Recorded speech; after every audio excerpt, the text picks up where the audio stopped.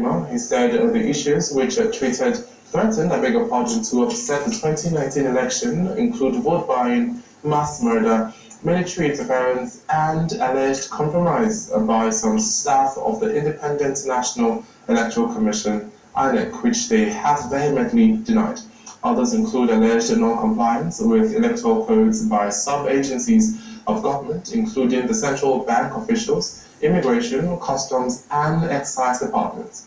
Although the U.S. consulate officials also looked at the issues of human trafficking, the focal points were raised on the 2019 elections. And the APC secretariat and media men were turned down from observing the meeting or not were the uh, visitors eager to volunteer information. But the reverse was the case at the mini secretariat of the opposition party located at the residence of the Edo PDP chairman, Chief Dan Orbih.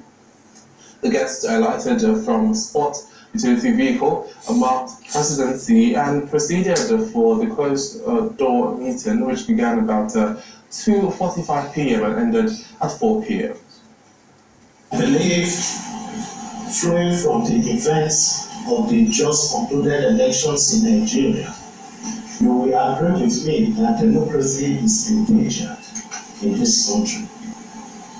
And our sincere appeal is that as soon as the new National Assembly is inaugurated, they should go back to work and look at the electoral laws of this country, revisit them, and see how they can curb ways of uh, controlling some of the malpractices we witnessed during the last election.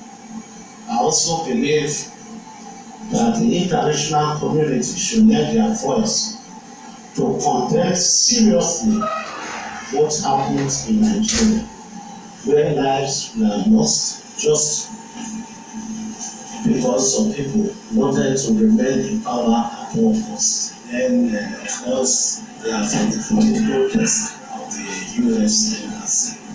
They also talked about politics and they spoke about uh, the just concluded election. The elections were not really fraudulent.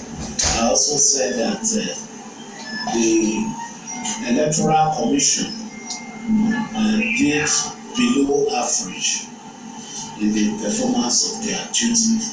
For the first time, they introduced inconclusive elections into our electoral process.